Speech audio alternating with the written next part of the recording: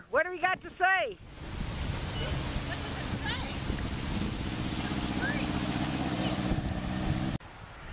So, River. save our rivers. So, uh, so what's this for?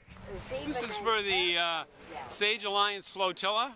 Here, we're here on September 15th, and uh, we're getting our boats, canoes, kayaks, pontoon boats, motorboats ready to go out on the river.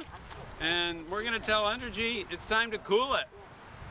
Just say hooray for our side. We better stop. What's that sound? Everybody look what's going down. Stop! What's that sound? Everybody look what's going down. Tell us about this.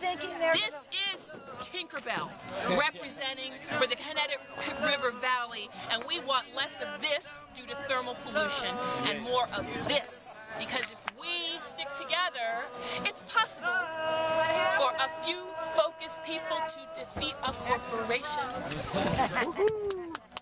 Okay. Is that little film?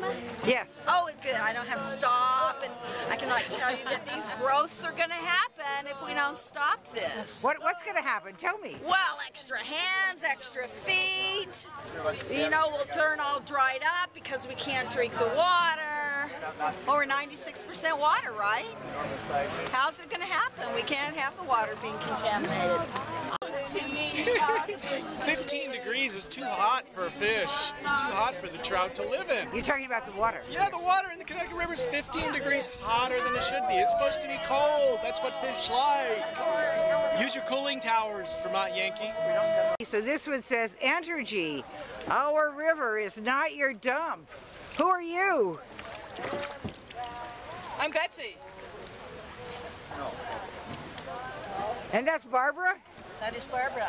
Yes. And who's in the front? That's Laura. Laura. All right. Great boat. Great sign.